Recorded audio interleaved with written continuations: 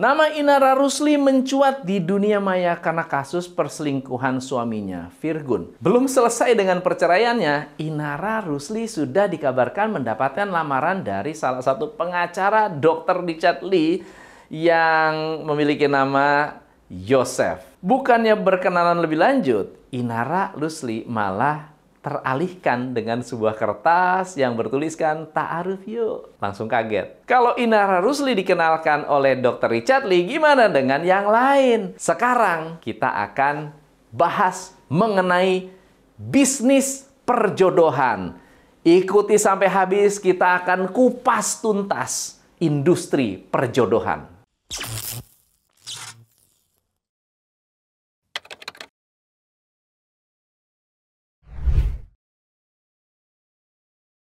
Tapi gimana sih sejarah awalnya industri perjodohan ini? Ternyata upaya untuk mencari jodoh sudah ada sejak tahun 1690-an. Di mana seorang pria yang berusia 30 tahun di Inggris mengiklankan melalui media cetak seperti koran, majalah untuk mencari istri. Istri pertama ya, bukan istri kedua. Nah, pria 30 tahun ini pun mencantumkan beberapa kriteria, termasuk usia wanita yang harus lebih muda, memiliki kekayaan sebesar 3.000 pound sterling, dan seterusnya. Di tahun 1727, seorang wanita bernama Helen Morrison juga ikut nyari jodoh. Bahkan dia rela memasang iklan di halaman Lonely Hearts dengan syarat bisa menjadi teman sehidup semati. Salut nggak sih dengan effortnya Mbak Helen ini? Makanya cewek-cewek jangan gengsi. Nah, seiring dengan perkembangan zaman, lahirnya situs dating online bernama Match.com yang resmi dirilis tahun 1995. Konsepnya adalah memberikan pengguna untuk memilih kriteria yang diinginkan dari usia, gender, hobi, lokasi yang diinginkan. Nah, karena keberhasilan dalam membentuk tren dan paradigma dalam dunia industri kencan online, kesuksesan reputasinya sebagai salah satu platform terkemuka telah mengilhami kemunculan situs web dan aplikasi kencan lainnya yang kemudian mengikuti jejaknya. Salah satunya adalah OkCupid. Didirikan oleh Chris Coyne, Christian Rudders, dan Sam Yagan dan Max Kron pada tahun 2004. Aplikasi ini bertujuan untuk menciptakan platform kencan yang berbeda dengan pendekatan yang lebih terbuka, transparan, dan berbasis data. Salah satu fitur unik OkCupid adalah penggunaan pertanyaan dan tes yang luas untuk membantu dalam proses pencocokan.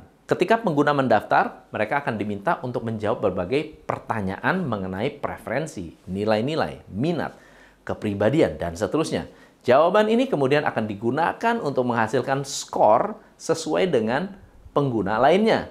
Membantu memfasilitasi pencarian pasangan yang cocok, sehingga OkCupid sekarang menjadi platform favorit para pencari jodoh. Tapi ternyata 2012, OkCupid ketar-ketir karena muncul aplikasi dating apps yang bernama Tinder. Gimana cara mainnya? Jika Anda tertarik, Anda bisa swipe ke kanan atau ke kiri jika tidak tertarik. Jika saling tertarik, kedua pengguna akan menggesek ke kanan pada profil masing-masing.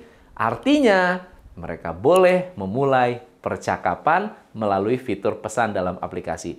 Pendekatan yang sederhana dan intuitif menjadi ciri khas Tinder dan meraih popularitas yang besar di kalangan pengguna yang lebih muda.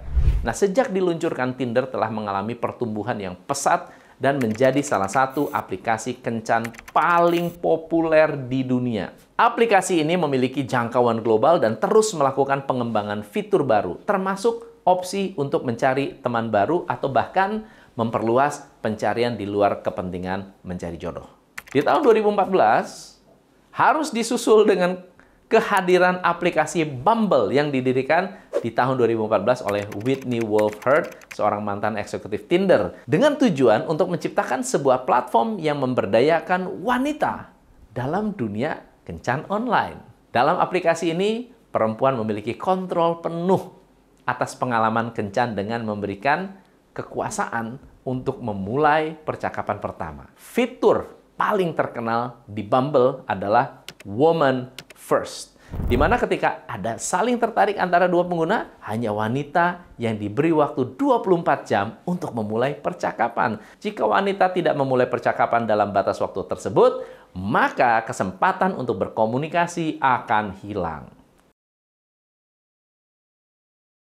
Di tahun 2023, industri aplikasi kencan terus berkembang dan menjadi semakin populer di seluruh dunia. Berikut beberapa perkembangan yang mungkin terjadi di industri aplikasi kencan. Jumlah pengguna aplikasi kencan terus meningkat. Lebih banyak orang yang memilih untuk menggunakan aplikasi untuk mencari pasangan yang potensial. Menggantikan metode tradisional seperti bertemu secara langsung atau mengandalkan lingkungan sosial.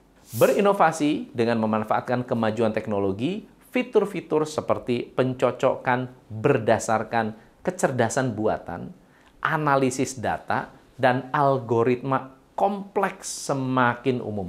Teknologi kecerdasan buatan dapat membantu memperbaiki kecocokan antara pengguna dengan mempertimbangkan minat, preferensi, dan kesamaan-kesamaan lainnya. Berusaha untuk memberikan pengalaman yang lebih personal lebih relevan bagi pengguna. Mereka sering kali menawarkan berbagai filter dan preferensi yang dapat digunakan untuk menyaring kandidat potensial sesuai dengan keinginan pengguna.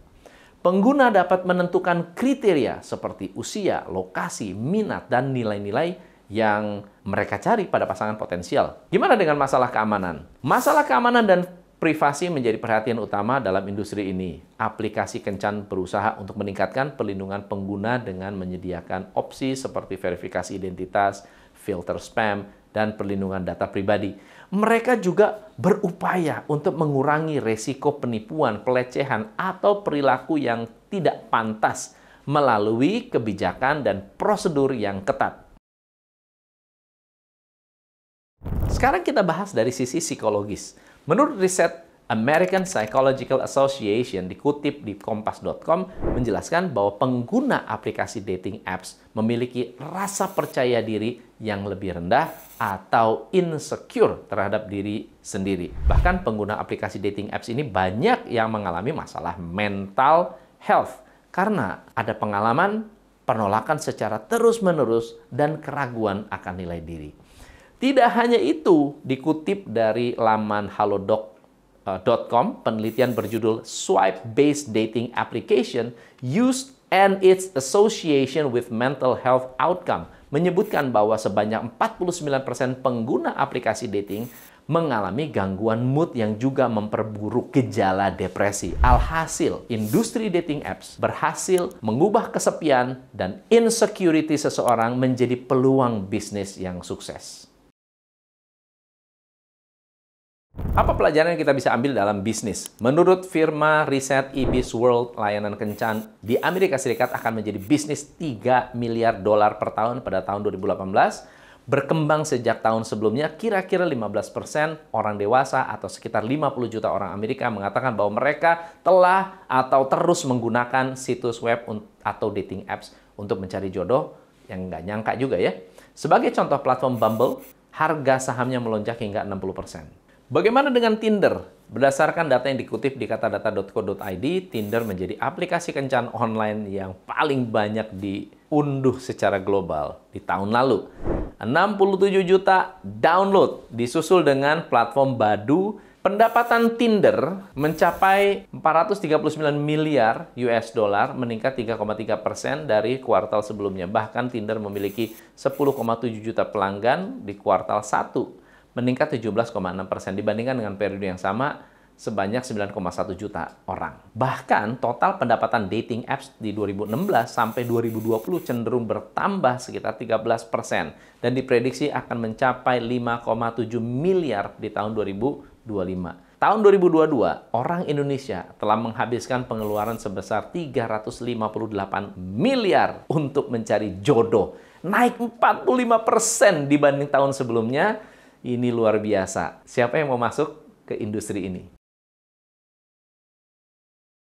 Nah, pasti menarik ya pelajaran yang akan kita ambil dari dating apps ini. Industri dating apps memahami kebutuhan dan tantangan pengguna mereka seperti kesepian, ketidakamanan dalam hubungan, dan kesulitan mencari pasangan. Pelajaran ini mengajarkan bahwa untuk menjadi sukses dalam bisnis sangat-sangat penting untuk mengenali dan memahami kebutuhan serta tantangan yang dihadapi oleh target pasar Anda. Dating apps yang sukses memberikan pengalaman pengguna yang positif dan memuaskan. Mereka menyediakan fitur-fitur yang membantu pengguna menemukan pasangan yang cocok, menjaga privasi, keamanan, serta memberikan saran dan dukungan yang relevan. Pelajaran ini mengajarkan pentingnya memprioritaskan pengalaman pelanggan yang baik dalam bisnis. Karena itu, akan menciptakan loyalitas pelanggan dan membuat Anda berbeda dari pesaing. Dating apps juga mengadopsi teknologi terbaru, berinovasi, memperbaiki pengalaman pelanggan, meningkatkan servis mereka, menggunakan AI dan analisa data, algoritma yang canggih untuk meningkatkan keberhasilan kesesuaian pasangan. Pelajaran ini mengajarkan bahwa bisnis yang sukses harus terbuka dengan adopsi teknologi, harus mau berinovasi, harus tetap relevan memenuhi kebutuhan pelanggannya. Jadi benar kan? Kalau cinta itu memang tidak pernah mati dan sekarang ada industri dating apps yang membuat bisnis booming banget. Gampangnya, mereka tuh bikin aplikasi kencan yang bikin hidup kita makin seru dan berwarna. Bukan cuma soal nyari jodoh, tapi juga menghasilkan uang yang tidak sedikit. Jadi, dating apps ini bukan cuma wadah buat cari pasangan atau teman spesial, mereka juga jadi cerminan industri yang tumbuh pesat dan peluang bisnis yang tidak bisa dianggap remeh dengan teknologi canggih mereka bisa menghubungkan orang-orang dari berbagai belahan dunia dan memberikan kesempatan agar bisnis juga bisa berkembang. Selain itu, dating apps mencerminkan perubahan sosial budaya kita. Masyarakat sekarang lebih terbuka untuk mencari jodoh dan teman baru melalui aplikasi ini. Itu berarti ada potensi besar buat pelaku bisnis menghadirkan solusi dan produk baru yang bisa memenuhi kebutuhan pasar yang terus berkembang. Jadi jangan lewatkan peluang ini guys. Saya Tom MC Ifle. Kalau Anda belum subscribe, jangan lupa subscribe. Salam pencerahan. Hanya di Top Coach Indonesia.